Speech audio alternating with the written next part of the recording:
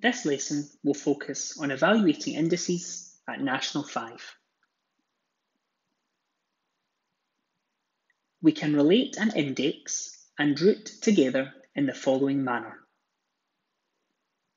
The square root of x is equivalent to x to the power of 1 half. Likewise, the cube root of x squared is equivalent to x to the power of 2 thirds. For this, we say top number stays, bottom number strays. Example 1. Evaluate 81 to the power of 1 half.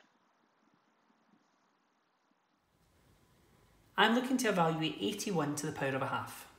To do that, I need to change it back into a root. So I need to take my fractional index and move that back into a root. To do that, in the fraction, the top number stays, the bottom number strays to the outside of the root. So what I mean by that, top number stays, so the one's going to stay here, but the bottom strays to the outside of the root. So that goes in there. So that now reads as the square root of 81 to the power of 1. The square root of 81 is 9, and 9 to the power of 1 is simply just 9. All we need to remember, top number stays, bottom number strays. Example 2. Evaluate 27 to the power of 2 thirds. In example 2, we've got 27 to the power of 2 thirds. Same thing again, top number stays, bottom number strays. So I have my 27 here. So that top number is going to stay there. The bottom number strays to the outside of that root. That now becomes the cube root of 27 squared. Always make the number smaller before you make it larger. It will be significantly easier to do this in a non-calculator. The cube root of 27.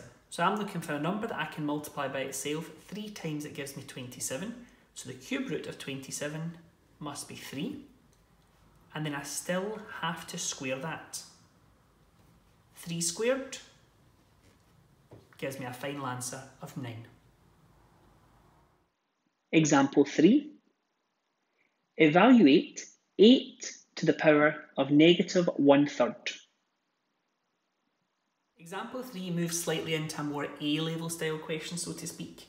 We have 8 to the power of negative 1 third. For me to evaluate anything, the first thing I need has to be a positive index. So, this 8 is attached by this negative a third. In front of every number, technically, you can see that it's been multiplied by the number 1. So I could rewrite this as 1 multiplied by. Now, the reason I'm doing that, to show you that I'm going to leave that number 1 in the top, and I'm going to take this downstairs to become 8 to the power of positive a third. By doing that, I now have a positive index. Now, this is going to be really important moving on to higher, actually. We never want a negative index, so you have to bring it downstairs to make it positive. From there, then let's use our top stays, bottom strays.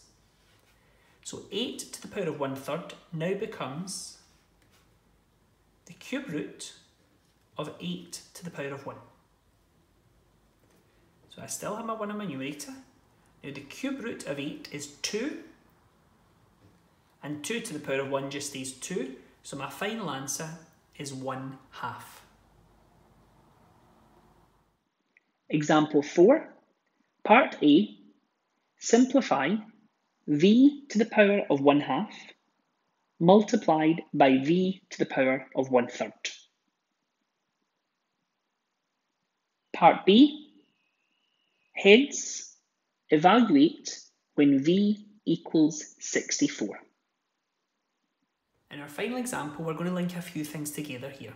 So to begin with, we want to simplify this down. When we're simplifying, we look for the same base, i.e. the same letter, which we've got here is v. When we're multiplying, we're going to add our powers. So I've got my v here, and I'll just come off to the side. 1 half adding one third. We're looking for a common denominator of 2 and 3, so that must be 6. To go from 2 to 6, I multiply by 3, so I do the same to the top, and that leaves me a 3 there. To go from 3 to 6, I multiply by 2, I do the same to the top, and that leaves me a 2 there. So I now have 3 sixths adding 2 sixths, which leaves me with a final answer of 5 sixths. So I'll now bring that in here. So my final answer is v to the power of 5 sixths. In part B, the question starts with the word hence. As soon as it says hence, we know that we need to use an answer from above. So in this instance, we need to use this. So we have v to the power of 5 sixths. And we are told that v is equal to 64. So that will now be 64 to the power of 5 sixths. Now we're at a stage here that's really difficult and it's something that I would be expecting you to get potentially in an exam, so don't panic if you're a little bit unsure just now. Go through it in steps. 64 to the power of 5 sixths. If I want to evaluate that, I must change it back into a root. So let's do that first of all. Top number of the fraction stays, bottom number strays to the outside of the root sign.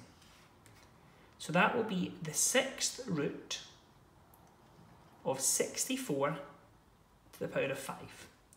Now if you get to this stage you've done brilliant. Now I'm looking for what is the sixth root of 64. So what number can I multiply by itself six times that gives me an answer of 64? I always just start with the number 1.